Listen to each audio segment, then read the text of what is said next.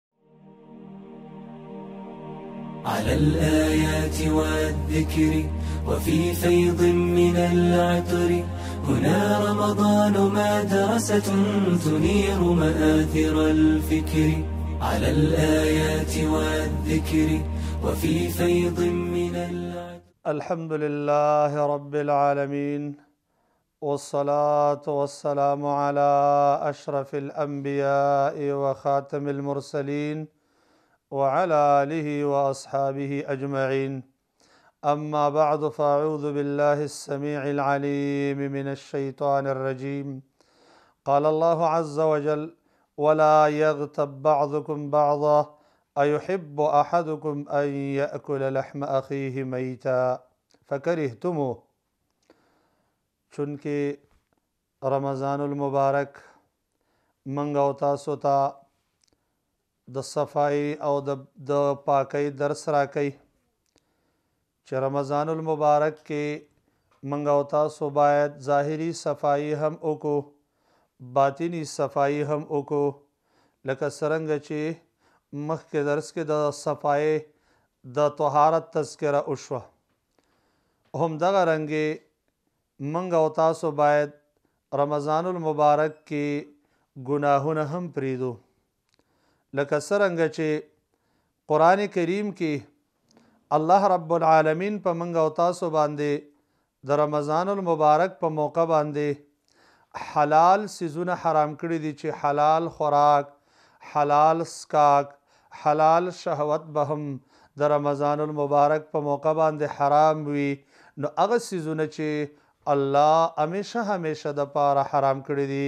هغه خو بطریق الاولی حرام دي په دغې سلسله کې به نن د یو دوو ګناهونو تذکره وکړو چې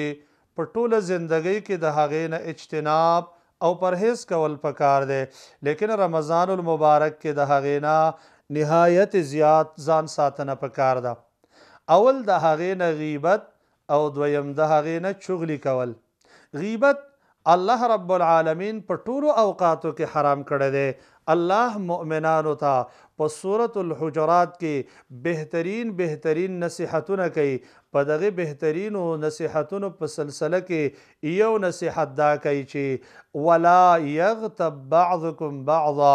بعضې مؤمنان دې د بعضې غیبت نه کوي او بیا د دې یو مثال ورکوي چې د انسانانو په ذهن کې د غیبت قباحت کیني نو فرمایي، ایحب احدکم ان یاکل لحم اخیه میتا فکرهتموه، تاسو دا خوښه ګڼئ چې ستاسو ورور دې مړ شوی وي، د مړ ورور غوښه دې انسان وخوري، انسان د انسان غوښه بالکل نه خوري، طبیعي لحاظ باندې د هغې نه نفرت کوي، هغه انسانان چې د دنیا وحشتونو، ظلمونو، بربریتونو کې دي، هغه هم دې طرف ته میلان نه لري او چرته په زندګۍ کې به دا کړي نه چې د انسان غوښه دې وخوري، ځکه طبعي لحاظ سره په دې باندې د دې نه انسان نفرت کوي. نو د الله جل جاله په معظم کلام کې د غیبت تشبیه هم د دې سره ورکړی شوه چې، د خپل مسلمان ورور غوښه خوړل دي، لکه د دې نه نفرت چې عقلی ته ورباندی طبعی ته ورباندی انسان کئ نو د دینه دی هم نفرت وکی وجه هم دا ده چی الله رب العالمین غیبت په مؤمنانو باندی حرام کړی دی د رمضان المبارک دا ښکلی فائدی به مونږ او تاسو ته هله حاصلی شی چی مونږ او تاسو د رمضان المبارک د شرائطو اهتمام د آدابو اهتمام وساتو کوم نبوي ارشادات چې د الله د رسول د طرف نه موږ ته راکول کېږي، د هغې اهتمام وساتو. یو په هغې کې دا دی چې روژه دار انسان به د غیبت نه ځان ساتي. مخکې دا خبره عرض شوه چې غیبت الله رب العالمین په هر وخت کې حرام کړی دی، روژه دار باندې خو الله حلال خوراک، حلال څښاک، حلال شهوت حرام کړی دی څه شی چی الله ټول ټوله زندګی په مؤمن حرام کړی دی د غیبت په وجه باندی انسان ته لوی نقصانات راځی حدیث امام احمد بن حنبل رحمه الله په خپل مسند کې نقل کړی دی چې رسول الله صلی الله علیه و آله وسلم فرمایي زه چې کله د معراج په شپه باندې بره وختلم، الله رب العالمين ماته څه خلک را وښودل چې د هغوی د اوسپنې نوکان وو، د خپلو سينو غوښه يې د هغوی باندې راشوکوله او ما عرض وکړ، اې جبريل عليه السلام! دا خلک څوک دي چې په دومره بدترین حالت کې زه هغوی لره وینم؟ جبریل علیه الصلوة والسلام ما ته وفرمایل، هؤلاء الذین یأکلون لحوم الناس ویقعون فی اعراضهم، دا هغه خلک دي چې د مسلمانانو غوښې خوري، د غوښې خوراک مطلب مخکې ذکر شو چې غیبت کوي، دویم د مسلمانانو په عزت کې واقع کېږي، دا هغه بدترین خلک دي یاکلون لحوم الناس ویقعون فی اعراضهم نو سوچ وکړئ چی د غیبت په وجه باندی په دومره بدترین حال کی انسان واقع کیږی چی په قیامت کی به د خپل بدن غوښی د اوسپنی په نوکانو باندی راشوکی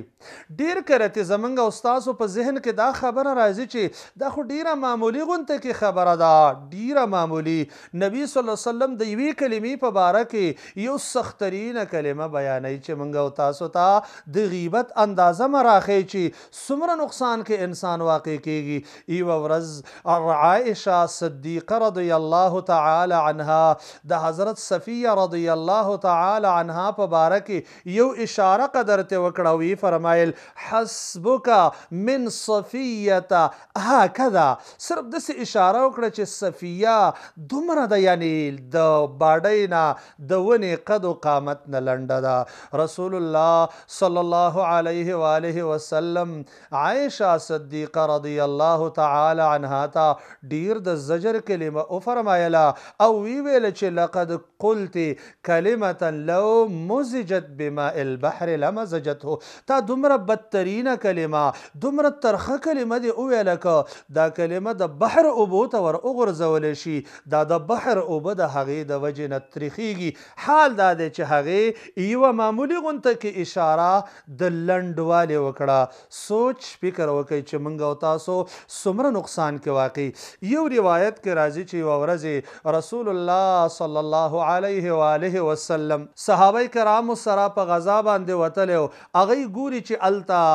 د ترکارۍ وخت شه چې ترکاري پخه ده او ملګرو ته ترکاري تقسيموي ابوبکر او عمر رضي الله تعالی عنه رال د هغوی یو خادم و، خپل خادم چي وکته هغه اوده دی، وي فرمایل چي دا خو دسي اوده دی ګویا که کور کي سړی په آرام سره خوب کوي، ګویا که دا یو خدمت له راغلی نه دی او خدمت زمونږ نه کوي، دا خادم چي راپاڅو رسول الله صلی الله علیه و آله وسلم خوا ته یې ولیږه چي د ترکارۍ انتظام وکړي، نو نبي صلی الله علیه و آله وسلم دې خادم ته وویل چې ورشه ته ابوبکر او عمر ته ووایه چې تاسو خپله ترکاري ځان دپاره تیاره کړې ده. هغوی چې دی ډیر زیات په هیبت حالت کې رالل چې څه چل شوی دی؟ نبي صلی صلی الله علیه وسلم ورته وفرمایل چې تاسو ددې مسلمان ورور غیبت کړی دی او بیا یې وفرمایل قسم په الله ددې مسلمان د ورور غوښه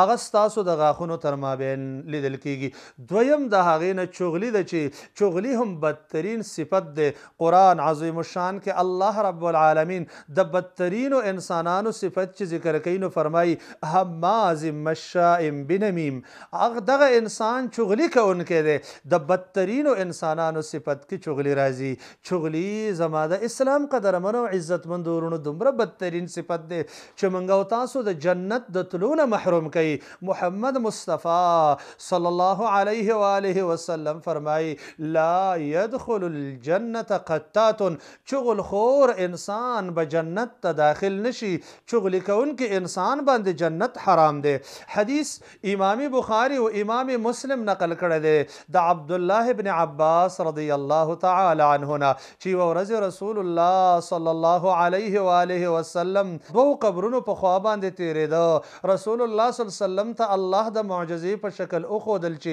دې دواړو قبرونو والاؤ ته عذاب ملاویږي نبی علیه السلام وفرمایل دې دواړو انسانانو ته عذاب ملاویږي څه دسې یو کار باندې ورته عذاب نه ملاویږي چې هغې نه ځان بچ کول دوی ته ګنې ګران وو اسانه خبره وه که ځان یې بچ کړی وی دا یو چې و دې به د خپل بول خپل پیشاب نه ځان نه ساته او دا دویم چې دی دې به چغلي کوله رسول الله صلی الله علیه وسلم یوه لښته راواخستله، په منځ یې دوه توکړې کړه، دواړو قبرونو باندې یې ناله کړله او ویې فرمایل، لعله یخفف عنهم العذاب ما لم ییبسا. څو چې دا دواړه لښتې وچې شوې نه وي، قریبه ده چې د دوی نه عذاب سپک شي. چغلي په وجه باندي دومره فساد په معاشره کي پيښيږي چي هغه د بل شي په وجه نه پيښيږي څنګه چي د بعضو سلفو نه نقل دي چي يفسد النمام في ساعه ما لا يفسد الساحر في سنه چغل خور انسان په يو ساعت کي دومره فساد پيښولي شي چی ساحر انسان یې په یو کال کی نشی پیښولی ساحر انسان په یو کال کی دومره فساد نشی پیښولی څومره چی چغل خور انسان د چغلی کولو په وجه باندی د مسلمانانو معاشره فاسده ای همدغه وجه ده چی دی چغلی ته هم سحر ویلی شوی دی. نو زما د اسلام قدرمنو عزتمندو ورونو منګه او تاسو لکه څنګه چې د رمضان المبارک کې د ټولو حلال خوراک حلال سکاک حلال شهوت پریدو باید دا دوه ګناهونه نهایت زیات د دین اجتناب او پرهیز وکړو ځکه دا دواړه ګناهونه منګه او تاسو د رمضان المبارک د خکلی بهترینو فایدو نه محروم کوي او موږ او تاسو ته چې دی نقصانات را اړی، مشکلات را اړی، څومره لوی مشکل دی چې موږ او تاسو د هغې په وجه د جنت نه محروم شو،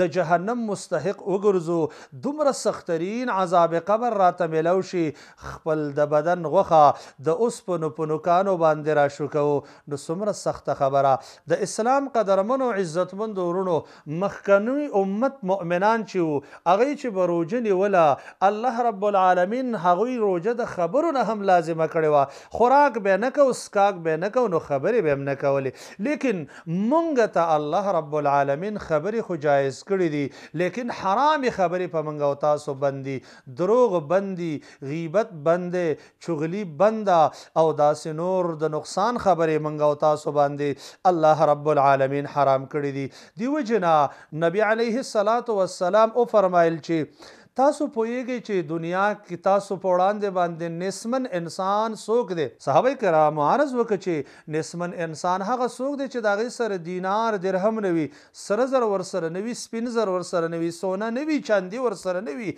نبي صلی الله عليه واله وسلم وفرمايل، دغه مفلس نه دی، دغه نيستمن انسان نه دی، مفلس انسان هغه دی چي قيامت په ورځ باندي په داسي حالت کي راشي چي هغه ډير زيات اعمال راوړي وي، ليکن ده ددي کارونو اهتمام نۀ ساتلې، ددي نۀ پرهېز او اجتناب نۀ کړی، يو انسان ته کنځل کړي، د بل انسان عزت يې لوټ کړی، په ورځ د قيامت پسې ټول انسانان را روان وي، الله رب العالمين ددي انسان د نيکو اعمالو نه لږه لږه حصه د هغۀ ګناهونو مطابق چې دی هغه چا له ورکوي چې دۀ د هغۀ حقوق استعمال کړي وي نو